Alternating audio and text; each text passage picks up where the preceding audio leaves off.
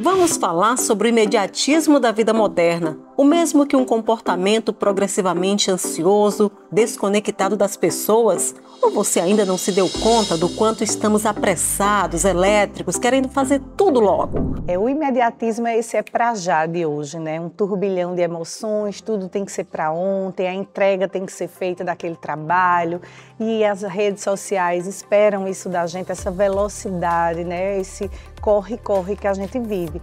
E isso atrapalha muito, porque a gente deixa de viver na íntegra o que a gente deveria, né? A gente deixa de se programar para fazer uma viagem, se programar para entregar um trabalho, porque tudo tem que ser para ontem. Então, para a psicologia, isso é prejudicial. Por quê?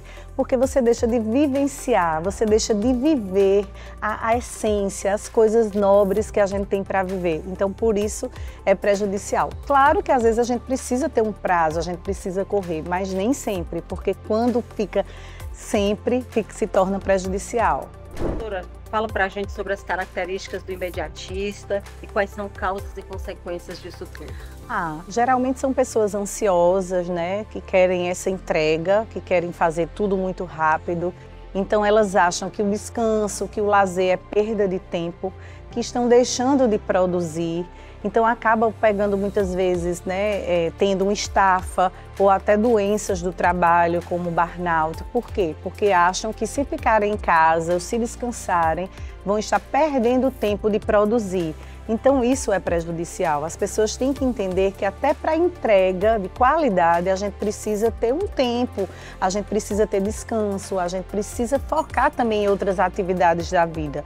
Então por isso é importante prestar atenção no que a gente está fazendo, ter um cuidado com o tempo necessário para que a gente não atropele as coisas, para que a gente não viva esse turbilhão de coisas e acabe que não viva nada, que não fique nada de lembrança, porque é tudo tão corrido que a gente que a gente nem vive, né? Que a gente esquece.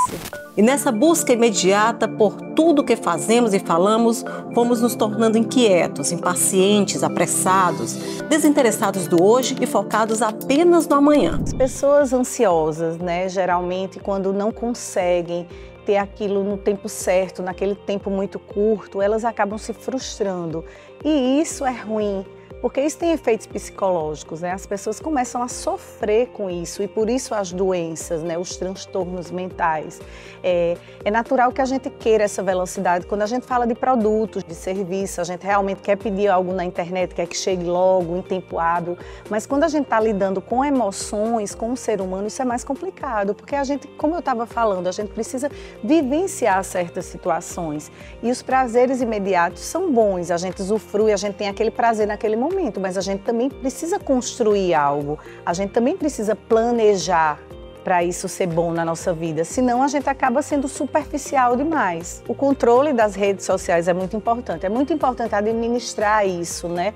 O quanto de tecnologia você está investindo, porque a tecnologia hoje demanda esse, esse é para já, esse tempo muito curto. Então, saber administrar, controlar a ansiedade, né? Reservar tempo para as situações, reservar tempo para as amizades, para a família, isso é muito importante. Se autoconhecer, o autoconhecimento conhecimento é fundamental, porque existe até um ditado, né? Se você não sabe para onde ir, qualquer caminho serve. Então, se você está tão rápido e você não sabe o que você está fazendo ou para onde você, né? Você está perdido justamente, então você vai parar em qualquer lugar. Isso não é o bacana. O ideal é que você saiba para onde ir, saiba o que está fazendo para ter uma entrega, para viver, para ser feliz, né? Para ter algo construído.